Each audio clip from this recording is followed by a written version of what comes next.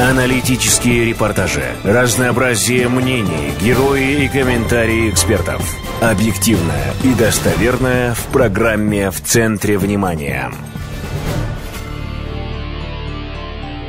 Представляем вашему вниманию программу IWPR, радио Института по освещению войны и мира. Здравствуйте, у микрофона Мери Масаналы. По официальной информации, в Кыргызстане живет более 26 тысяч детей с ограниченными возможностями. Для них в республике есть 15 специализированных школ-интернатов, 4 дневных школ и 15 детских садов. Несмотря на это, по информации Министерства образования и науки Кыргызской республики, около 2000 детей с тяжелой инвалидностью не могут посещать специализированные детские учреждения. В действительности же в республике численность детей с ограниченными возможностями, лишенных прав на образование, образования намного больше. Как начался новый учебный год для особенных детишек в нашем материале. Пинай мяч!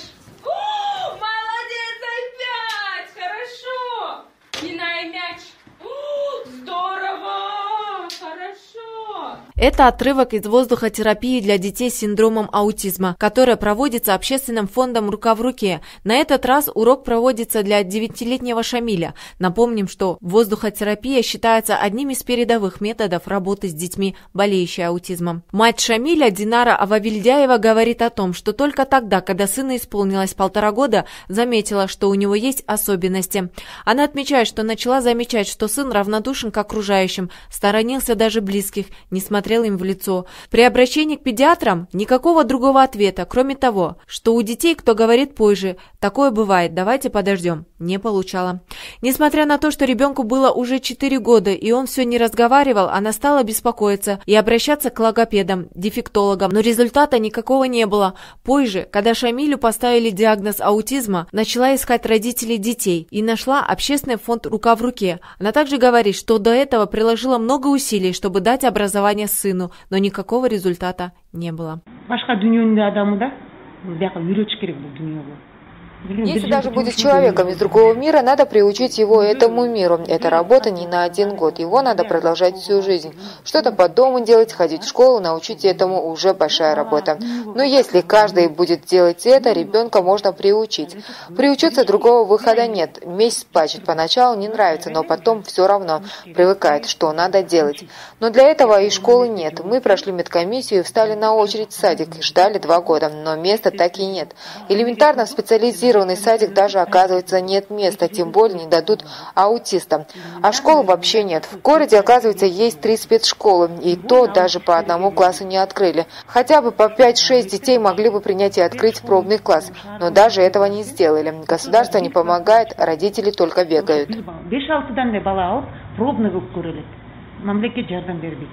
Мамлекет Говорит Динара. Она надеется, что и дальше будет приводить своего сына на учебные курсы общественного фонда «Рука в руке». Данный фонд – одна из немногих, кто прилагает усилия для того, чтобы дать образование детям с особенностями их здоровья. Социализация нет социализации, они сами по себе, их нужно постепенно приучать. Когда приучатся, можно водить в класс, в садик, почему их никуда не берут.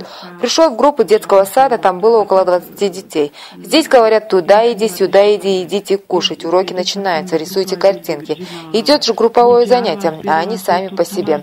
А потом, если начинаешь заставлять насильно и ругать, начинают плакать, крики, истерика, а потом люди думают, что это ребенок невоспитанный или с таким вот характером. А на самом деле просто у них восприятие другое.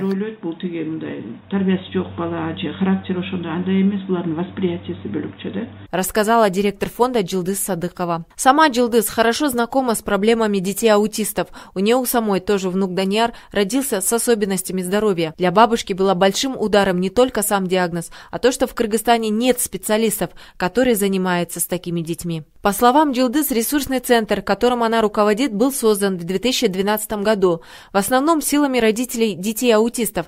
На сегодняшний день Центр объединяет около 30 родителей. Родители приходят в Центр со своими детьми и делают с ними в течение 6-8 часов упражнения, направленные на улучшение восприятия сознания их детей. Центр посещает в основном дети с особенностями здоровья от 3 до 10 лет, но среди них также есть и подростки 16 лет, которые остались вне образования. В стране испытывают трудности в получении образования не только дети-аутисты, но и дети, которые плохо слышат, плохо видят или имеют проблемы с речью. С такими детьми работает Центр развития слуха и речи, который был создан 4 года назад. На сегодняшний день Центр посещает около 130 детей, которые учатся читать и писать. Наш ребенок не может хорошо говорить. Наш диагноз – задержка развития речи. Отсутствуют связки, но не может разговаривать с человеком, как шестилетний ребенок. Поэтому посещаем Центр развития слуха и речи. Наша надежда, чтобы ребенок заговорил, приобщился к обществу, жил в этой жизни как полноценный здоровый ребенок. Мы сами проживаем в Аше, но из-за ребенка мы переезжаем сюда. Я очень обрадовалась, когда услышала, что открылась школа. Раньше я очень возмущалась, когда мне говорили, что твой ребенок должен учиться в специализированной школе, он не может учиться в обычной школе. Я отвечала, нет, Бог даст, с ребенком все в порядке, он будет учиться в обычной школе, куда ходят все. Но со временем начала понимать, что он не может учиться в обычной школе, потому что общество не принимает такого ребенка, будет издеваться. Если будут ему говорить всякие плохие вещи, то ребенок будет катиться назад. Поэтому я начала задумываться, что лучше спецшкола. Если он будет учиться с такими же детьми, как он, развитие тоже будет улучшаться үміттіміз ушу сүйлөп кетсин ушу обществого кошулсун ушу как обычный здоровый ребеноктой болуп это была Айдана, мама семилетнего Алдамира, одна из многих родителей, которые переехали в Бишкек. Как отмечает руководитель Центра развития слуха и речи Гульнара Новойбаева, количество родителей, которые переезжают сюда, чтобы дети получили образование, с каждым годом увеличивается. Очень много тех, кто приезжает из областей. В домах вокруг нас много тех, кто снимает квартиры и живет здесь, чтобы их дети получали образование. Много тех, кто приехал из Ашана, Рына и Сыкуля от Баши Токтогула. Кроме этого, по просьбе родителей, мы открыли центры Ивашен. Там сейчас работают три преподавателя из Бишкека. Приезжали дети из Канта. В связи с тем, они тяжело перенесли жаркую погоду. По просьбе родителей мы открыли центр там, в здании УКП. Дальше в планах есть открыть на Иссыкуле. Приезжали много родителей из Аксу. Просили там тоже открыть, если будут преподаватели для обучения детей с ограниченными возможностями. Приложим все усилия, чтобы и там до конца года открыть для детей центр обучения. Говорит Новойбаева. В действительности, многие из родителей, которые рассказывали о трудностях, с которыми они сталкиваются, отметили, что у них глубокое сожаление вызывает не только то, что их дети не могут получить образование, а само сложное отношение общества к таким детям с ограниченными возможностями здоровья. В Кыргызстане инклюзивное образование началось в 1992 году. Можно сказать, с того времени, как наша страна присоединилась к Конвенции ООН о правах ребенка, стране началась соответствующая работа по инклюзивному образованию. Но из-за нехватки финансовых средств в республике не проводилась на должном уровне работа по улучшению условий для получения образования детьми особой категории. Необходимо подчеркнуть, что специалисты отмечают, что в Кыргызстане инклюзивное образование понимается однобоко. Например, если речь идет об инклюзивном образовании, то его буквально понимают как метод образования только лишь для детей с ограниченными возможностями здоровья.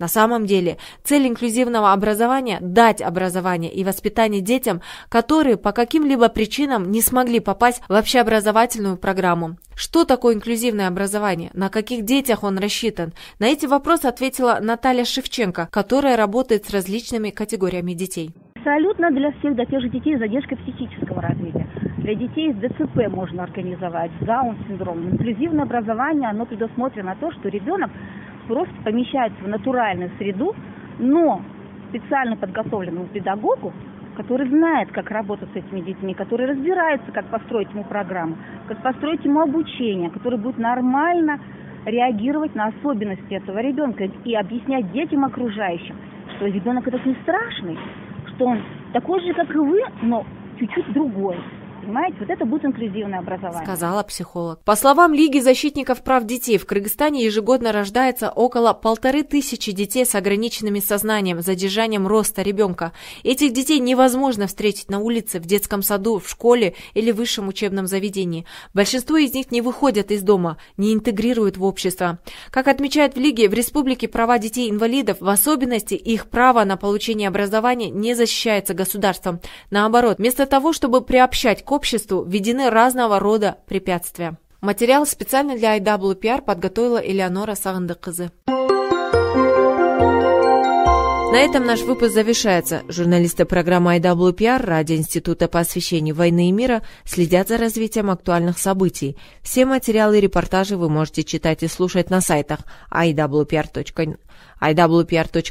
и kabar.asia. Оставайтесь с нами, Мири Матаналы. Услышимся.